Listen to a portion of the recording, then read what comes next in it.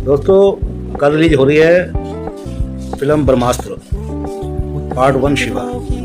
410 crore के budget में बनी फ़िल्म। आलिया भट्ट का बयान आया था कि मुझे पसंद करते हो तो देखो, नहीं तो मत देखो, जाओ बाहर। और अयान मुखर्जी का बयान आया था कि पहले ये फ़िल्म जो है, तीन साल पहले बन रही थी, तब ये रूमी पे बन रही थी, फारसी जो सुफियाना कवि है, जो हिंदुओं का हमेशा अगेंस्ट रहता है, और तुर्कों को अव्वल कहता है और हिंदुस्तानियों के बारे में उसके ख्याल हमेशा गलत ही गंदा बताता था। उसके बाद बयान आया रणबीर कपूर का कि मैं जी पेशेवर का हूँ जी, हमारे यहाँ मटन पाया खा जाता है जी, मैं तो बीफ गाय हूँ, मैं तो खाता हूँ गाय का, मांस खाता हूँ, बड़े शौक से। और उसके बाद एक बयान आया करण जौहर का, जो फ़िल्म के प्रोड्यूसर हैं पेशरम कि ये फ़िल्म मैंने कोई सर पे बंदूक थोड़ी लगा रखी है जो फ़िल्म, देखो। देखनी है, देखो नहीं तो देखनी मत, देखो मैं तो ट्रोलर का कुछ कोशिश नहीं करता, ना इनको परवाह करता। इसके बावजूद भी अब बयान जो आ रहे हैं, मैंने जो रिव्यू किया था इसके ट्रेलर का, दो महीने पहले वो रिव्यू मेरा वही है, थोड़ा बहुत एडिट करके मैं दोबारा पेश कर रहा हूँ। कृपया वीडियो को पूरा देखिए। Thank you very much for watching दोस्तों, अयान मुखर्जी मशहूर निर्माता निर्देशक बने हैं। दोस्तों, अयान मुखर्जी मशहूर निर्माता निर्देशक बने हैं इस फ़िल्म के। ये फ़िल्म का ट्रेलर युवा ब्रह्मास्त्र का। और इसका ट्रेलर जो है लगभग तीन मिनट का ट्रेलर है। और इसे सभी भाषाओं में रिलीज़ किया गया। तेलुगु और हिंदी में मैंने देखा इसको। बाकी पाँचों भाषाओं में हिंदी, तमिल, तेलुगु, कन्नड़, मलयालम में रिलीज़ हो रही है फ़िल्म बाकी दोस्तों इस ट्रेलर को देखकर एक बात तो समझ में आती है कि ये फ़िल्म तो कुछ उम्मीद बंधाती नहीं है बल्कि ऐसा लगता है कि अयान मुखर्जी ने दाव अपनी कद से बहुत ऊँचा खेल दिया है। क्योंकि तो उनके पास दो ही फ़िल्मों का अनुभव है जिसके बारे में अभी तमाम जानकारी मैं देता हूँ। वीडियो को कृपया अंत तक देखते रहिए। Thank you very much for watching दोस्तों मेरा नाम है Deepak Kumar Devpal. Filmography and social tips में आपका स्वागत है। दोस्तों कई महीनों पहले बदमाश फ़िल्म का एक मोशन पोस्टर रिलीज़ हुआ था सवा मिनट का जिससे दर्शकों को इतना ठंडा रिस्पॉन्स मिला था कि एक बार को आप यकीन नहीं करेंगे कि इसको पाँच महीने में केवल सात पॉइंट तीन मिलियन लोगों ने देखा है और दो लाख चौबीस हज़ार लोगों ने इसे पसंद किया है। बहुत ही लो रिस्पॉन्स आई जिसे कि सोनी म्यूज़िक इंडिया की वेबसाइट पे यूट्यूब चैनल पे लॉन्च किया गया था। फ़िल्म 9 सितंबर 2022 में आनी है। इन्हें इतनी जल्दी थी इसका ट्रेलर रिलीज़ करने की जो आमतौर पर एक महीने पहले रिलीज़ होता है। मगर मोशन पोस्टर का रिस्पॉन्स देखा था, वो बहुत ढीला था, सुस्त था तो इस वजह से उन्होंने ये ट्रेलॉजी बनाने की कोशिश की उसका फ़र्स्ट पार्ट है शिवा, ब्रह्मास्त्र फ़र्स्ट पार्ट शिवा। तो इसलिए उनको जल्दी हो रही है कि शायद व्यूज़ वगैरह आ जाएँगे, कुछ लोग लाइक कर लेंगे, कुछ फ़िल्मों की उम्मीद बन जाएगी। तीन करोड़ की बजट की मूवी लग नहीं रही बीएफएक्स देखे बड़े, बहुत वीक बीएफएक्स इस फ़िल्म के लगे मुझे। बाकी इस फ़िल्म को देखकर मुझे तीन फ़िल्में याद आ रही है तो दो में संजय दत्त, सुनील शेट्टी की फ़िल्म आई थी रुद्राक्ष। एक आई थी दो हज़ार आठ में दोना, अभिषेक बच्चन और प्रियंका चोपड़ा की। और एक आई थी रावण शाहरुख खान और प्रियंका चोपड़ा और अर्जुन रामपाल की जो थी रावण 2011 में रिलीज़ हुई थी। इन तीनों फ़िल्मों का कनेक्शन इसलिए बता रहा हूँ कि तीनों फ़िल्में सुपर हीरो एक फैंटेसी और बीएफएक्स के आधार पर रिलीज़ की गई थी, जिनमें काल्पनिक पात्रों का सहारा लिया गया था, जैसे अमेरिकन फ़िल्मों में होता है एवेंजर्स वगैरह में। और ये ब्रह्मास्त्र एवेंजर्स गर्ल से ही प्रभावित लगी है फ़िल्म उन तीनों फ़िल्मों का बॉक्स ऑफ़िस में इतना बुरा हाल हुआ था कि कभी सपने में कोई सोच नहीं सकता था। ये तो राकेश रोशन जी ने क्रिश के तीन पार्ट बनाए, कोई मिल गया क्रिश क्रिश टू क्रिश थ्री तो वो फ़िल्म तो ब्लॉकबस्टर रही। एक के बाद एक।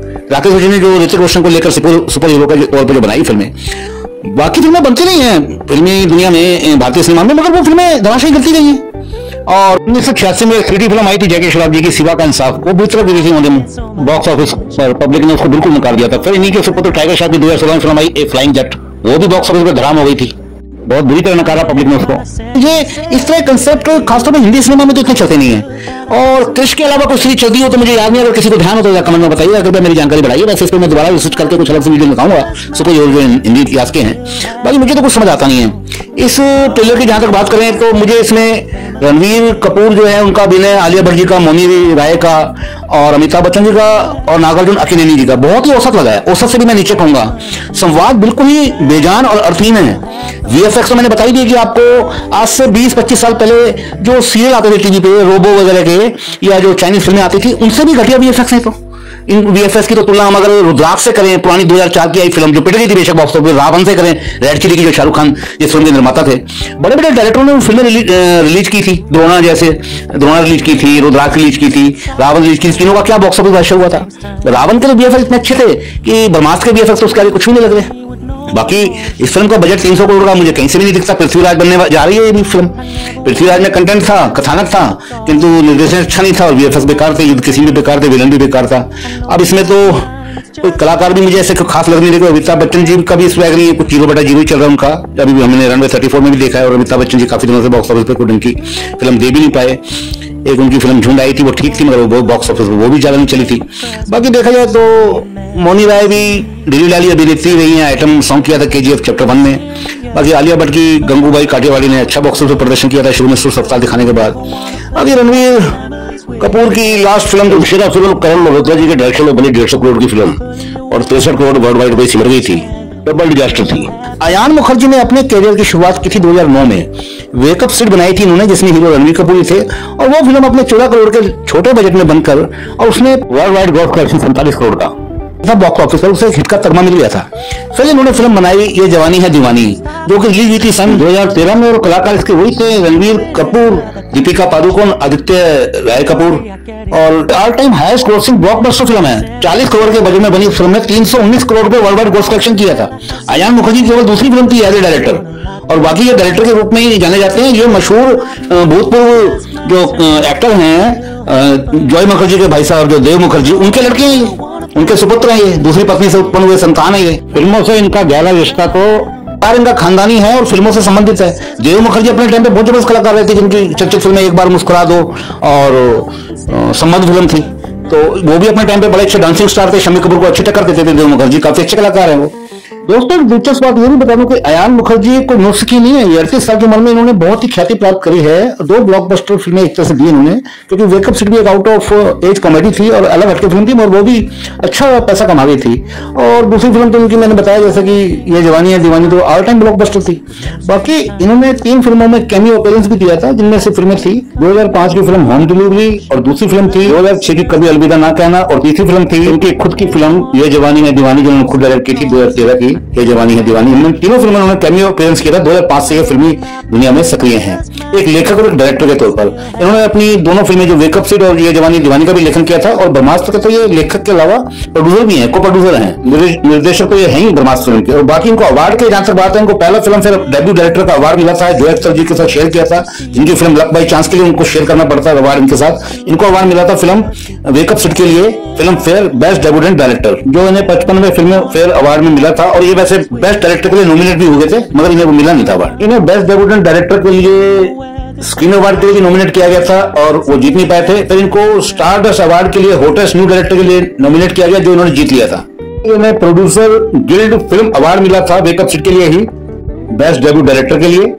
इसी में अवार्ड में इनको बेस्ट डायरेक्टर के लिए नॉमिनेशन मिला था और इन्हें बेस्ट स्टोरी के लिए भी इस अवार्ड के लिए नॉमिनेट किया गया था। प्रोड्यूसर गिल्ड अवार्ड इनकी debut film wake up Sid के लिए इनको international Indian film academy award में दो चीज़ों के लिए नॉमिनेट किया गया था बेस्ट डायरेक्टर बेस्ट स्टोरी के लिए। दो हज़ार तेरह में ये जवानियाँ दीवानी जैसी ब्लॉकबस्टर फ़िल्म देने के लिए इनको कई नॉमिनेशन मिले और अवार्ड भी उनकी लिस्ट इस प्रकार है। इनमें इन्होंने दो अवार्ड जीते थे। पहला अवार्ड था producer guild film award best screenplay के लिए यह जवानी यह जवानी है दीवानी के लिए। और दूसरा अवार्ड था बेस्ट डायरेक्टर का जो इन्हें जी स्ने अवार्ड में दिया था यह जवानी दीवानी के। लिए बाकी दो अवार्ड बेस्ट स्टोरी और बेस्ट डायलॉग के लिए इनको नॉमिनेट किया था जिसने अवार्ड में। इसी फ़िल्म यह जवानी है दीवानी के लिए बिग स्टार एंटरटेनमेंट अवार्ड में इनको नॉमिनेट किया गया था। मोस्ट इंटरटेनिंग डायरेक्टर के लिए। कंसेप्ट में फ़िल्म फेयर अवार्ड में इनको बेस्ट डायरेक्टर के लिए इस फ़िल्म यह जवानी दीवानी के लिए नॉमिनेट किया गया था। बेस्ट डायरेक्टरी कैटेगरी में इनको स्क्रीन अवार्ड और प्रोड्यूसर गिल्ड फ़िल्म अवार्ड में भी इसी कैटेगरी में नॉमिनेट किया गया था। इसी फ़िल्म के लिए यह जवानी है दीवानी। मात्र दो फ़िल्मों के बलबूते पर तेरह नॉमिनेशन और पाँच जीते हुए अवार्डों के दम पर कहा जा सकता है कि ये अनाड़ी नहीं है। जैसे हम ज़्यादातर एक गाने में कहते हैं, अनाड़ी का खेलना, खेल का सत्यानाश। ये ऐसे अनाड़ी नहीं है क्योंकि इन्होंने हटकर फ़िल्में दी हैं और बहुत मेहनत से काम करते हैं स्क्रीन प्ले पे डायलॉग पे और लेखन पे और इस वक्त प्रोड्यूसर भी हैं। बाकी इनके खून में जो है फिल्मी कैरियर है। 1930-35 से ही। इनकी जो असली कहानी परिवार है, वो समर्थ और मुखर्जी परिवार है। शोभना समर्थ अपने टाइम की एक बहुत अच्छी अभिनेत्री थी, भारतीय सिनेमा इतिहास की। हिंदी फ़िल्मों में वो काम करती थी, वैसे मराठी थी वो। मगर उनकी पहली फ़िल्म 1935 में आई थी। उनकी लड़की थी नूतन दिवंगत अभिनेत्री और तनुजा। तनुजा जी की शादी हुई थी शोमू मुखर्जी से, जिसकी वजह से यह परिवार था। मुखर्जी समर्थ परिवार कहलाता है, जिसकी वजह से इनके रिलेशन अशोक कुमार रमनी और किशोर कुमार जैसे महान दिवंगत गायक से हैं। संबंधियों की लिस्ट में आपको जैसे बताया, देव मुखर्जी, इनके पिताजी जो बहुत जाने माने एक्टर थे। आशुतोष गोवरीकर वो इनके ब्रदर हैं। काजोल इनकी कज़न है, कि रानी मुखर्जी इनकी कज़न है, तनिषा मुखर्जी इनकी कज़न है, तनुजा इनकी आंटी है, और सुबोध मुखर्जी इनके ग्रैंड अंकल हैं, जॉय मुखर्जी इनके अंकल हैं, किशोर कुमार इनके ग्रैंड अंकल हैं, अशोक कुमार दादा मुनि जी इनके ग्रैंड अंकल हैं, और मुखर्जी और समर्थ परिवार से आते हैं, जो कि अपने आप में एक बहुत ही ऐतिहासिक और पुराना फिल्मी परिवार रहा है। दोस्तों अयान मुखर्जी की फिल्मोग्राफी और पारिवारिक इतिहास के बाद हम बात करेंगे ब्रह्मास्त्र के थोड़े बात में इसके कास्ट के ऊपर इसके डायलॉग लिखे हैं हुसैन दलाल जी ने।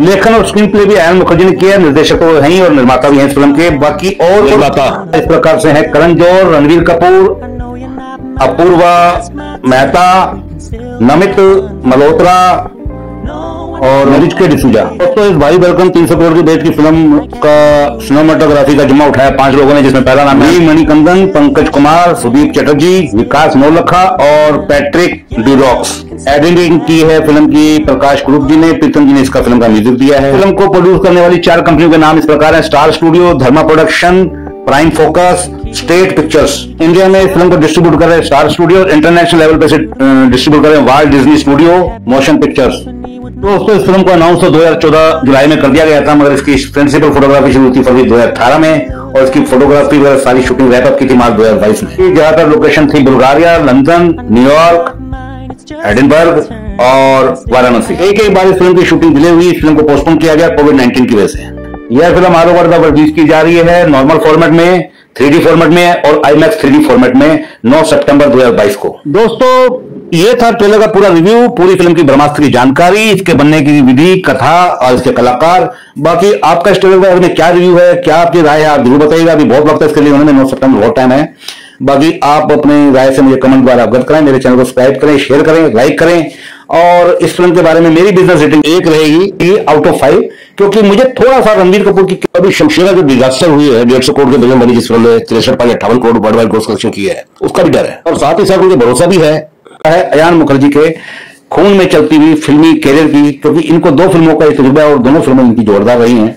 बाकी इन्होंने जो जो उसने कमाया था, पहली फ़िल्म चौदह करोड़ के बजट में बनाई थी वेकअप से उसका अर्निंग वर्ल्ड वाइड अर्निंग रही सैंतालीस करोड़। उन्होंने दूसरी फ़िल्म का बजट में लगा दिया, जो दूसरी फ़िल्म जिनकी ये जवानी है, दीवानी, वो लगभग वेकअप सेट की अर्निंग के बराबर ही चालीस करोड़ में बनी थी और तीन सौ उन्नीस करोड़ कमाए थे। वही तीन सौ उन्नीस करोड़ में तीन सौ करोड़ इन्होंने लगा दिया ब्रह्मास्त्र में। देखो, इसका क्या रिज़ल्ट निकलता है क्रॉनिकल ऑर्डर तो ठीक है, संकेत तो ठीक है, मगर जो दिख रहा है, वो बिकता वाली बात है, उस हिसाब से मैंने रिव्यू किया है। बाकी आपको कुछ पसंद आया तो कृपया लाइक करें। एक बार फिर आपका सबका धन्यवाद। वीडियो देखने के लिए thank you very much for again जय श्री राम, ओम नमः शिवाय। भारत माता की जय हो। बंदे मातरम।